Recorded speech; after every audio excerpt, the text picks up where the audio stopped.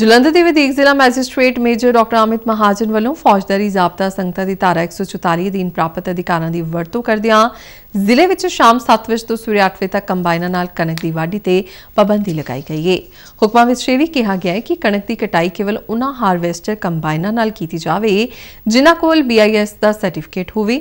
ਇਹ ਹੁਕਮ ਇਸ ਸਾਲ 31 ਮਈ ਤੱਕ ਲਾਗੂ ਰਹਿਣਗੇ। ਇਸ ਤੋਂ ਇਲਾਵਾ ਵਧੀਕ ਜ਼ਿਲ੍ਹਾ ਮੈਜਿਸਟ੍ਰੇਟ ਨੇ ਕਣਕ ਦੀ ਨਾੜ ਅਤੇ ਰਹਿੰਦ ਖੂੰਹਦ ਨੂੰ ਸਾੜਨ ਉੱਪਰ ਵੀ ਪਾਬੰਦੀ ਦੇ ਹੁਕਮ ਜਾਰੀ ਕੀਤੇ ਨੇ। ਹੁਕਮ ਵੀ 31 ਮਈ ਤੱਕ ਲਾਗੂ ਰਹਿਣਗੇ। ਇਹਨਾਂ ਹੁਕਮਾਂ ਦੀ ਉਲੰਘਣਾ ਕਰਨ ਵਾਲਿਆਂ ਖਿਲਾਫ ਕਾਨੂੰਨੀ ਕਾਰਵਾਈ ਕੀਤੀ ਜਾਵੇਗੀ।